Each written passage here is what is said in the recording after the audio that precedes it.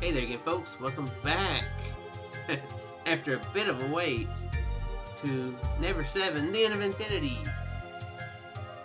We're back. We are indeed back. uh, I got caught up with my streaming, and I also got, you know, interested in wanting to know what Remember 11 was all about.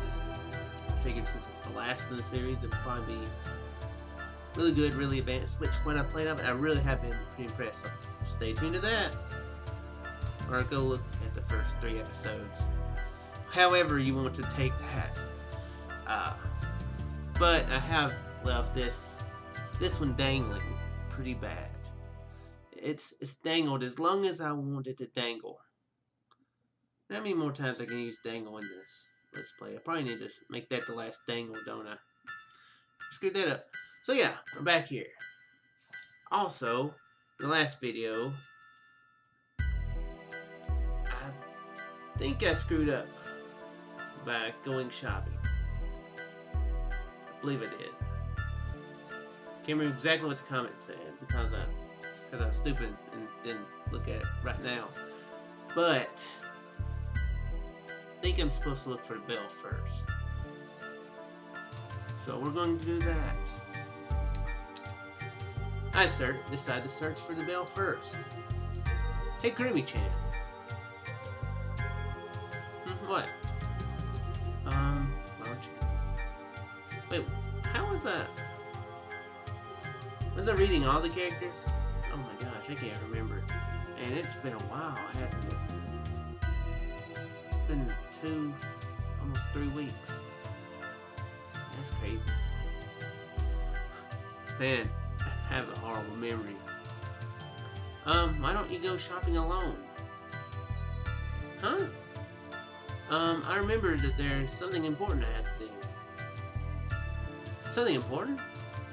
There, um, uh, I have to go look for something I dropped. Something you dropped? You never told me you wore contacts, Yuka. yeah. What was it? That that's, um... Kirby-chan looks at me with a curious gaze that screams, What is it? What is it? What is it? I must know or I will die. It's a memento. A memento? Of who? My great-grandfather. That's a lie. My great-grandfather is still alive in the countryside, lively as ever. Hell, he's even over 100 years old. Hmm. Did she see through my lie?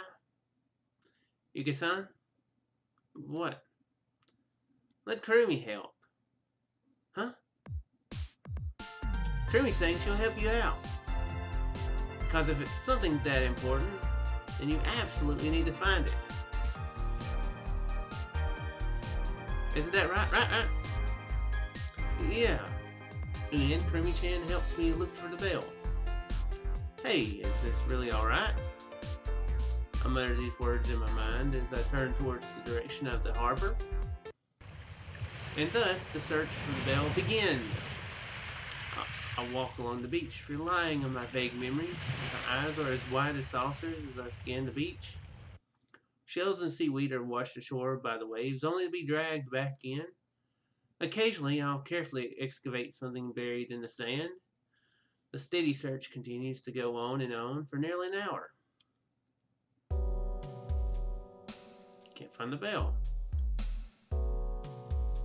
We've searched so much, but we can't find it. Has history really changed after all? Did someone else pick it up? Or is it still at the bottom of the sea? Bad thoughts flood my head, leaving me with no room to think of anything else. Uh, I let out an involuntary sigh and stretched myself out. My back tired from being bent this whole time. I look around in an attempt to ignore my feelings. Short distance away from me, Kurumi-chan slowly paces around while holding two bent tree branches in her hands. Could it be that she's trying to use dowsing? Hmm. I don't think there's any meaning in using tree branches. Even so, Kurumi-chan is desperately searching. Gradually, I feel my chest grow hotter and hotter. She's doing everything she can to search for it, even though it's something someone else dropped. Inspired by her, inspired by her actions, I resume, I resume my search once again. Now that I think about it, now that I think about it, I feel like this happened in the past. I was searching for something very, very important. That's right. At, this, at that time, I was also looking for something very important. At that time, um, what was I looking for? Yuka has a very similar memory to me. Can't remember. It feels like a rising bubble that stops just before it can reach the water surface. It's a memory of mine, but I barely remember anything. However, there are two things alone that I clearly remember. Number one, that object was something I considered to be a treasure. Number two, in the end I never found it. Slightly cold wind blows by. And at that time, found it! What? I found it! Hey, Krumi, found it! Oh, that's right, she refers to herself in the third person. Hey, Krumi found it, Yuka-san. Yuka-san? Oh, good grief. Krumi-chan runs over to me, one of her hands stretched out. She's holding something in that hand. Said object shines in the sunlight. It's the bell. Okay, this is it. This is it, right? Yuka-san? This is it. This is it. This is it, Creamy Chan.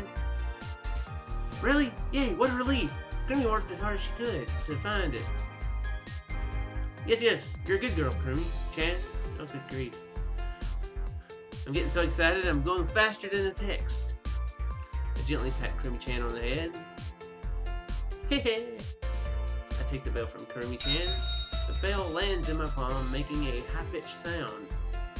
With this, I can say... Uh, what? Mm, oh, crap if you didn't find that memento, you would you wouldn't be able to save someone from what? Death? Y yeah. Oh, that's. Krumi Chan looks at me with an inquisitive gaze that screams, "Who is it? Who is it?" My great grandma. It's a lie. My great grandma died three years ago.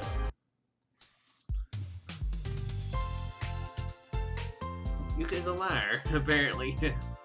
How's it going, Yuka? Did you find it? A while later, Makoto comes to Moon Beach. Told Haruka he had an errand to run and left temporarily. Despite what he said, I guess he was worried after all. Have Makoto be that concerned for me is kind of embarrassing, but it can't be helped. But I can't be helped but crack a smile. But I can't help but crack a smile.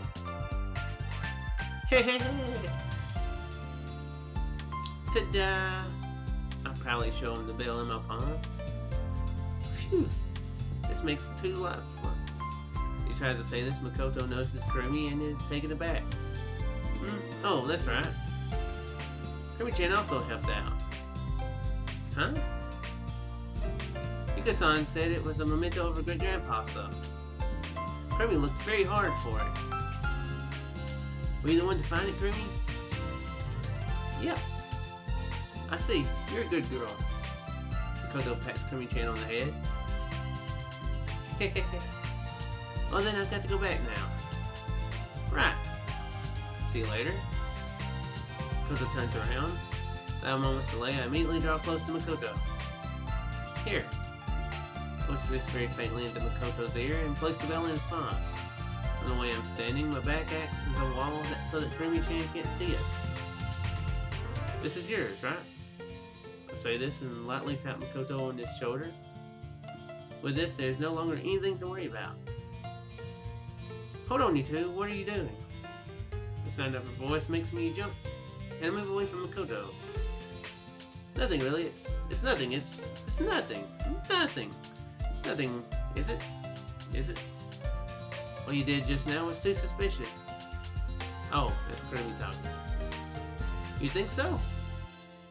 Of course. Krumi scrutinizingly glares at us while furrowing her brow. Well let's see, Makoto departs, running away as fast as he can. Ah, wait a minute, Oni-chan.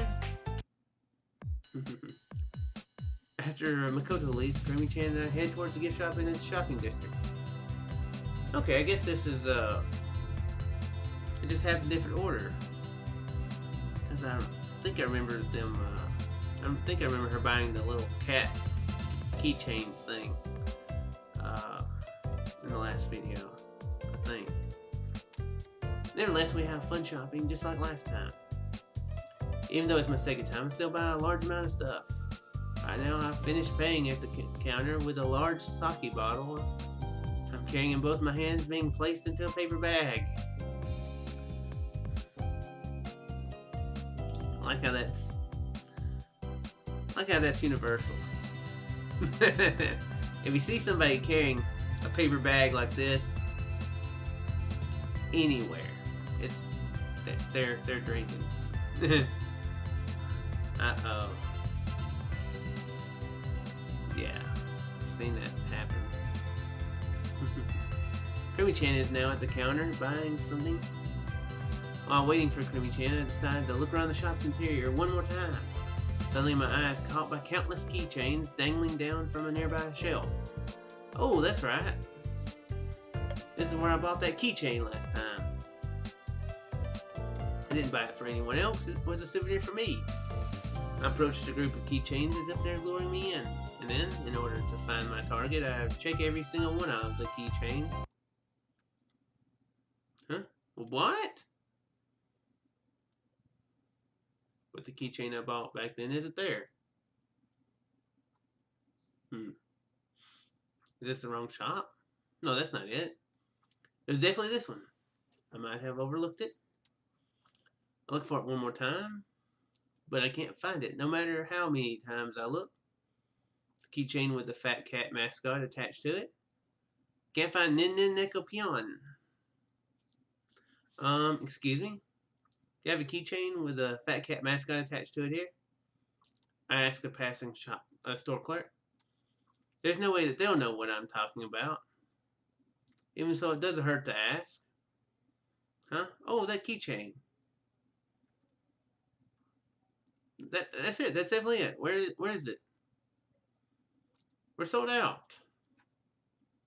We're sold out. It's kind of a rare keychain, you see. If it's not there, then that means we've run out of stock. Thanks for waiting. We bought so much that they gave Kurumi some postage stamps for free. I love when stores give me free postage stamps. I'm like, oh my gosh, I can mail stuff now. That is so useful.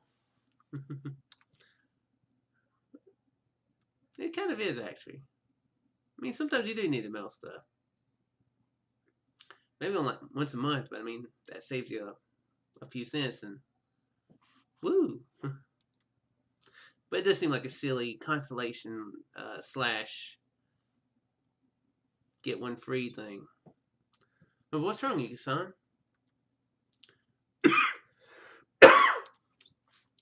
Good grief. Ninja cough. That's fine. And then, the with all our business concluded, we leave the shop.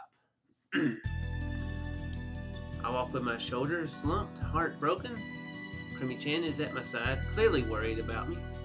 I feel depressed as if there's a gaping wide hole in my heart. It's a tormenting feeling of loss. It's probably because of that keychain. Hey, what's wrong? You've been totally down since the gift shop. Totally down. But that's not true. He says, Kurumi's never seen you look this depressed before. It's about the same as you were on Moon Beach when you were looking for that lost object of yours. Lost object? An important thing that I couldn't find? Lost treasure. The boat finally reaches the top of the water, the sleeping memory within me having been revived. That's it. That's why I wanted that keychain so much. We go out onto the paved road. While doing so, we walk while talking about trivial things. I don't remember her losing anything last time. Hmm. Then you see Oni-chan. Uh, Krimi, uh, Krimi Chan laughs loudly. She's having fun laughing at this random story, but I still can't laugh like Krimi Chan. Because I remembered. Because I came to this seminar camp, I remembered too much of my past. One by one, one by one. Back then in that memory, I had talked to someone. I was sad and stable and felt like I had been abandoned. Hey, Yuka-san. Hmm, what is it? That keychain that was sold out. Was really that special? Because ever since then, you've been acting really weird. Stop walking. Krimi-chan comes to a halt. For a little while, I'm a bit hesitant about whether or not I should talk about it. That keychain was. But then I make up my mind to tell her. That keychain was kind of the spitting image of an important treasure from when I was young. A small cat keychain. The cat on the keychain was called Nin Nin Nekopyon. Even though it was small, it was it wasn't cute at all. It had a scratch on its forehead shaped like a cross or a shuriken. It was pretty ugly. now the scratch was exactly like a shuriken. So, so you mean the nin nin part of its name came from the ninja? That's where it come from. That's right. The cat keychain wasn't cute in the slightest, but is a precious uh, treasure to me. It was a very, very important treasure that I received from a special person. I attached it to my backpack and would go to school with it. Fix and say, ski chains, but you know, she got it back when she was that that age. Most people aren't carrying around keys, but I guess it's just something that you know.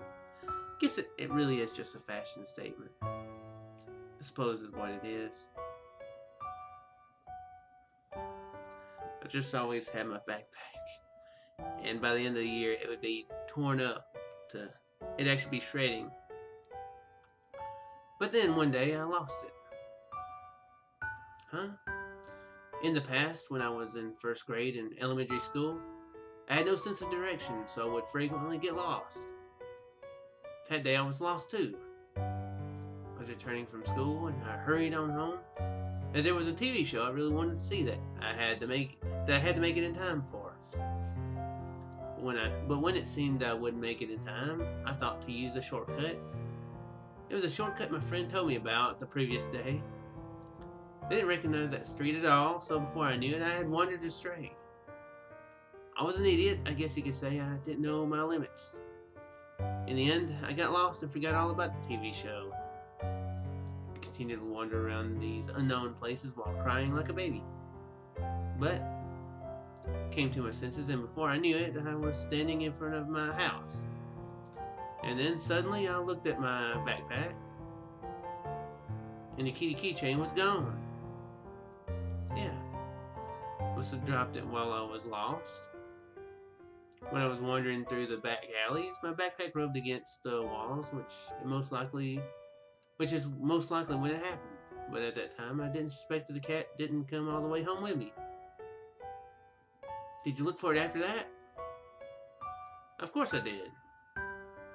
The next day, I brought along a friend who knew that shortcut well let's say that's a good way to get more lo to go and get lost again and lose even more stuff. Oh crap, I lost my shoe on the way. Gotta go look for the keychain and my shoe. Oh my gosh.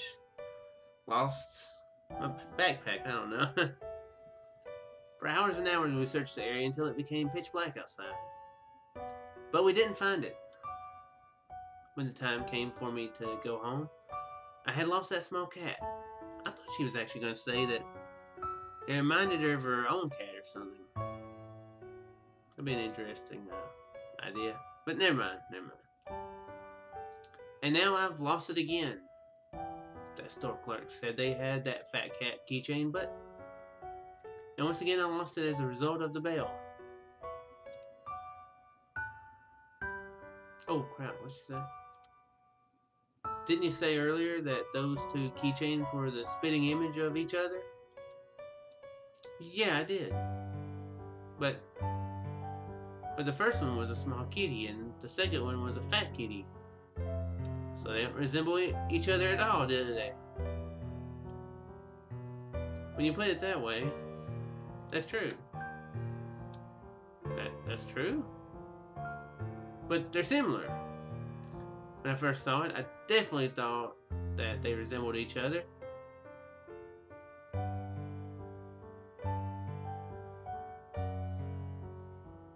Was their appearances are different. Is this is this a comparison between Makoto and that other dude? Is it is this what they're referencing? I feel like that's what they're referencing here. Yuka-san. That's right. Even though they don't look alike, they're still spitting images.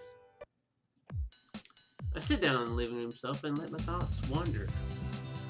They they needed a walk. I think it took us 15 minutes to arrive at the lodge. Just as predicted, Saki and Haruka's quarrel never happens. While Izumi-san is making dinner in the kitchen, everyone passes the time as they please. Haruka is sitting next to me, watching TV while Saki stands by the window as she looks outside. Krimi-chan is uh, is uh, sitting on the floor in the middle of the uh, folding some origami. Ogeko-kun is lying on the loft, in the loft with an ice pack on his face. Seems that Makoto punched him. It seems as if Makoto punched him. Makoto is in the dining room, humming while setting the table. And I'm getting to where I can't talk. The song he's humming is a recent and popular one he's completely off key, and so I desperately try to hold back my laugh. He's painfully tone deaf. Looking at this very peaceful scene causes the shock of losing the keychain to fade a, fade a little. Casually walk over to the dining room. I think I'm going to go ahead and end it here. It's a bit of a short one, but it's again I'm going to be getting back to it daily. Gonna finish this up. Going to get to remember 11 again resume that, and then forward. Uh, so anyway, I do hope you folks enjoyed, and I shall see you in the next one. Farewell there.